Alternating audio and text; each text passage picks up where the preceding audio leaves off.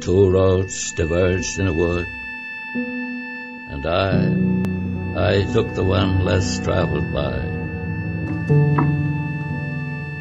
And that has made all the difference.